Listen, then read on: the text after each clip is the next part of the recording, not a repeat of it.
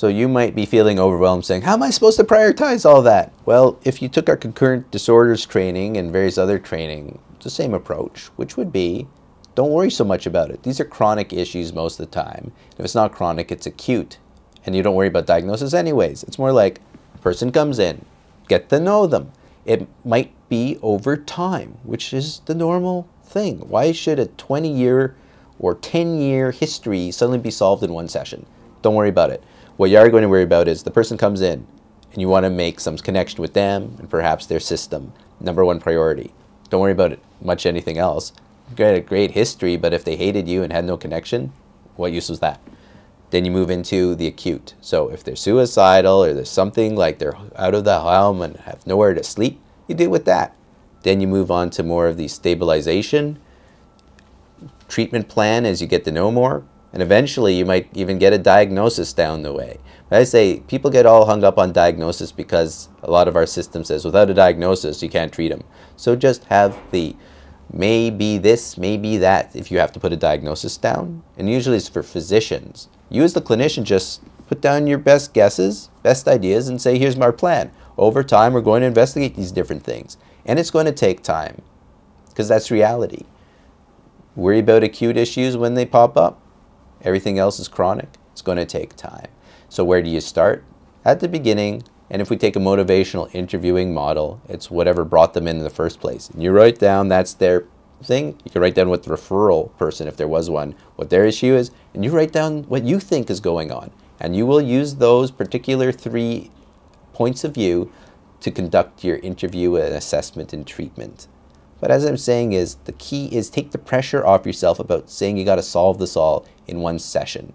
And if you're one of those programs that only has a limited amount of time, again, accept your limits, saying, I'm probably not going to do trauma treatment with them and all these sorts of things. My goal is to link with them, get a basic understanding of what might be happening, and help them get to the next stage of treatment. Some people ask about specific conditions like ADHD and autistic spectrum disorder and tips to work with them. Let me start with the ADHD and ADD. The key, of course, is once you identify that they might have these issues, as we said before, you do probably want to get some medical involvement perhaps because there are environmental ways to help with ADHD, such as reducing stimuli or particular jobs, getting accommodations.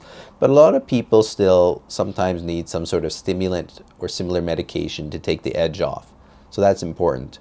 The other thing too is from a perspective of making sure the impulsivity is actually there and it's not just an artifact of maybe it's some other thing like depression or some other thing that's causing their concentration not to work. Make sure you take the time to nail the diagnosis and that's what it is. Then see the treatment. But the other thing is you're probably dealing with a lot of these people in your gambling uh, patients. And whatever you're doing with them, you can do with the people with the internet issues. But the real key is a biopsychosocial cultural approach. Take your time, nail it over time, get the appropriate treatment. Now for Asperger's disorder, ASD, and the reason we're raising that is at it seems like we're sometimes the unofficial ASD clinic here because people come in under the rubric or statement that, oh, it's a video game issue, and then you find out it's ASD. The reality is they require a lot of resources, and we deal with them here as best we can if they're high functioning, but if they're not high functioning, it's very difficult. You do need to figure out other ways and other agencies to help bolster if you can, because reality is they need cognitive behavioral with heavy behavioral approaches a lot of the time and there's specialized training for that as well. So some of the things we do is if they're high functioning and seem to be able to communicate with others and so on, which you would do some screening, you can still put them in some social anxiety or social skills group as one of your treatments if it has like a cognitive behavioral approach to it. The approach you might want to do is really cognitive behavioral with behavioral. And another key thing is their system. If there's family, parents, they're going to need to do a lot of the work at home because you're only showing some of the skills that need to be developed, but it has to be done all the time in the outside environment. So it's a difficult situation because there's not a lot of resources for ASD and we're always advocating for more and we're trying to work with other agencies ourselves and make linkages to share this population together and work together.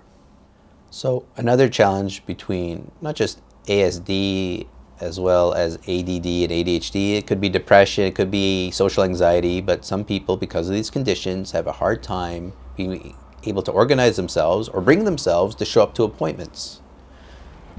So one of the tips, of course, again, is trying to find out through rapport what would make it easier. You say, oh, I want to sleep in in the morning. So you might say at the beginning, well, this is not a very good thing. But on the other hand, you say, okay, we can do afternoon appointments, for example. Do you need a couple of phone appointments? If your agency allows some phone appointments to kind of make some connections and build that way there's different ways to try to find out from them what could work and that's actually your number one goal it's not about treat the internet addiction your number one goal is how to get you to an appointment or figure out community services. It's like how do we even get you to even get into the services before we even get into things gung-ho? The other thing too is from the system's perspective if there's parents or spouses or whoever as long as the client patient youth person says yeah it's okay i want them involved.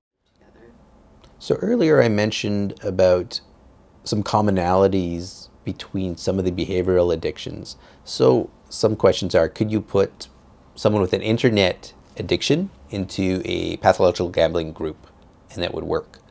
And the answer probably is it depends. If it's all about gambling, it might not because that's the focus. And they're saying, well, this is not my behavior.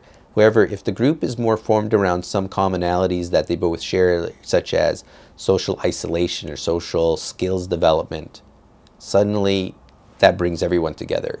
And how they talk in that group might be, well, I use gambling to cope with this, and I use it also as my social group. I use my internet around the social group. Suddenly, in that group, that's the commonality.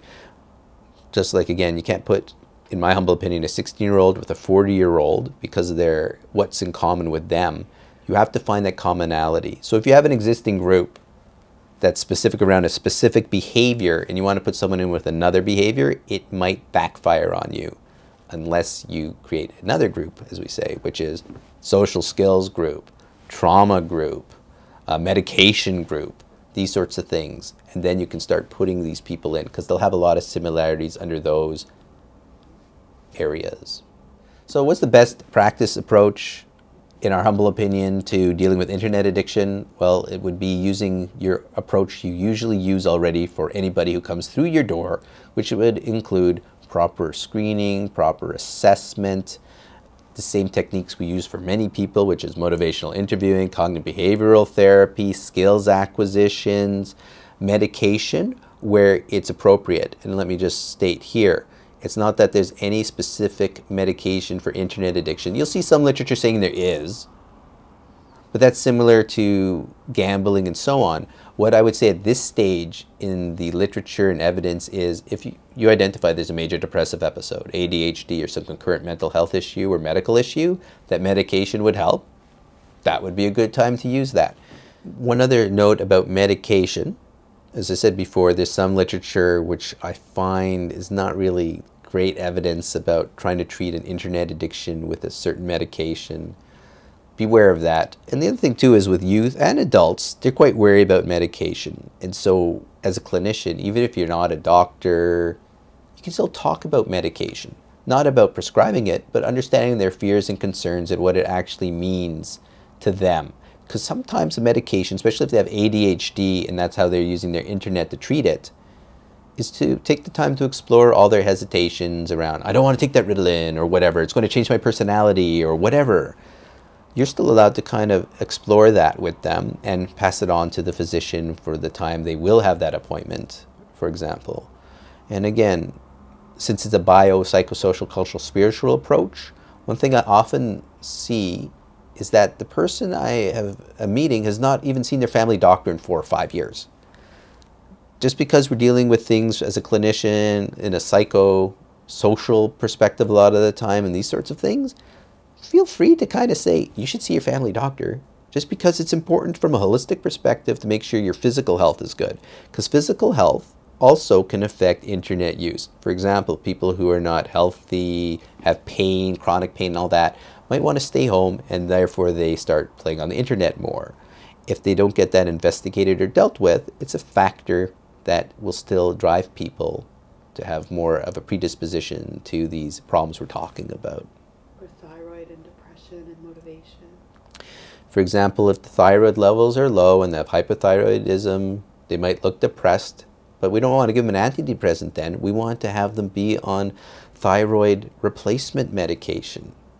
These sort of things might seem common sense, but again, somehow the family doctor is often left out. And I often hear, well, they have no time, they'll never call me back. This might be true, or it might be just that we think we have that stereotype about the doctor. But I have a feeling the doctors in primary clinic care do not mind working as a team approach to help certain people who are problematic in terms of treatment for everybody. As a family doctor or GP is also important in terms of the circle of care. They usually are somewhere in your community, and if you can't find one, that's difficult and a problem because we do want to make sure the person has their physical health checked into as part of this whole puzzle of trying to understand the person. So biology is not just learning disorders. It could be hypothyroidism, it could be diabetes, it could be all these different things. And I've seen many clients start gambling or doing internet issues and so on, for example, after they've been diagnosed with diabetes type 1.